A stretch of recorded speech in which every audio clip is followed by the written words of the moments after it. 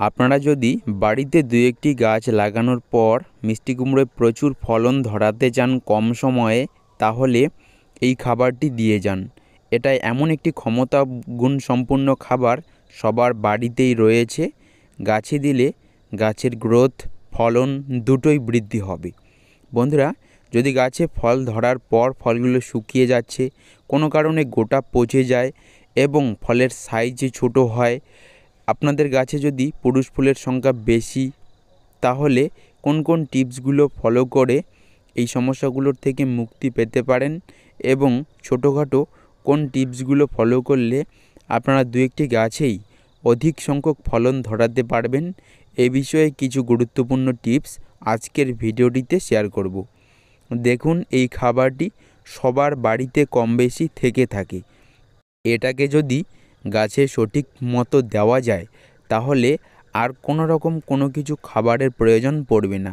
এটা এমনই গুণসম্পন্ন একটি জৈব খাবার। বন্ধুরা, এটা আমি দিয়ে কিন্তু দারুণ রেজাল্ট পেয়েছি। দেখুন, এর জন্য বেশি পরিমাণে সংগ্রহ করে রেখেছি এই খাবারটি। এটা হলো চা পাতা।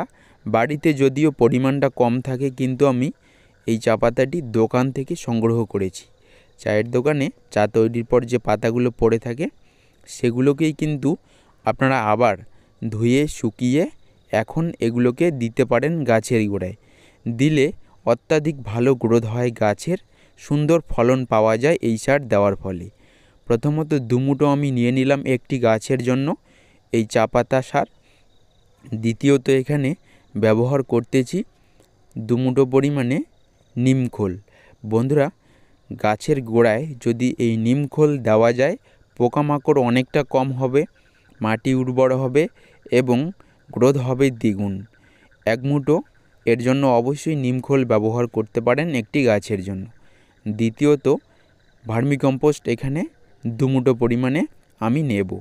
তো দুমুটো চা পাতা দুমুটো ভার্মিকম্পোস্ট এবং নিমখোল সামান্য পরিমাণে একসঙ্গে মিশিয়ে যদি আপনারা টবে অথবা ড্রামে চারা লাগিয়েছেন, তাহলে এই খাবারটি একটি গাছের গোড়ায় দিয়ে রাখুন। দেখবেন, এই খাবার দিলে আর কোনো খাবারের প্রয়োজন পড়বে না, যত দিন যাবে গাছের গোড়ায় ডিকম্পোস্ট হয়ে কিন্তু অত্যাধিক ভালো কাজ দেয় এই খাবার, খুব কম খরচেই বাড়িতেই তৈরি করে নিতে পারবেন। দেখুন, আমি একটি গাছের গোড়ায় পুরো খাবারটিকে দিয়ে দিলাম। তো এটা কিন্তু জৈব খাবার, খুব ভালো কাজ করে। আপনারা নিজেদের প্রয়োজনের জন্য যদি সবজি চাষ করছেন, বাড়িতে দু একটি গাছ লাগানো রয়েছে, তাহলে এই খাবারটি প্রয়োগ করতে পারেন মাসে একবার করে।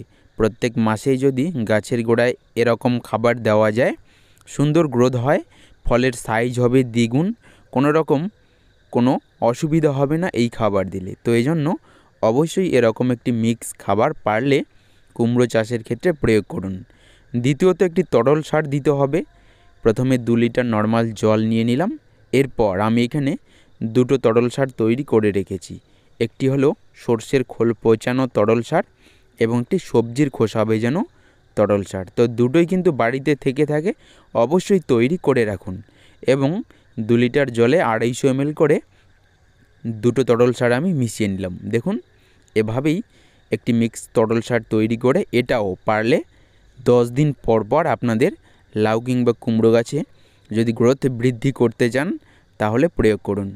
গাছে ফুল ফল গঠনের জন্য পুষ্টিগুণ খাবারের প্রয়োজন পড়ে। তো এই জন্য এরকম মিক্স তরল সার অবশ্যই প্রয়োগ করুন, দেখবেন ফলের সাইজ হবে দ্বিগুণ, প্রচুর পরিমাণে ফুল ফল ধরবে গাছে। তো বন্ধুরা, আপনাদের গাছে যদি ফল ধরার পর ফলগুলো পচে যায় কিংবা সাইজ ছোট হয়, তাহলে কি করবেন? প্রথমত একটি কীটনাশক প্রত্যেক সপ্তাহে প্রয়োগ করুন। জৈব কীটনাশক যেমন নিম অয়েল প্রয়োগ করতে পারেন, তাহলে পোকামাকড় কমবে। পোকামাকড় থাকলে কিন্তু ফল এরকম গঠন হওয়ার পর অনেক কারণে এই পোকার উপদ্রবের কারণে ফলগুলো শুকিয়ে পচে যায়। তো এই সমস্যা হবে না যদি একটি কীটনাশক দিতে পারেন এবং যে খাবার দুটোর বিষয়ে বললাম, এই দুটো যদি নিয়মিত প্রয়োগ করেন, ফলের সাইজ হবে অত্যন্ত ভালো। কোনো রকম ফল শুকোবে না দ্বিগুণ সাইজ হবে মিষ্টি কুমড়োর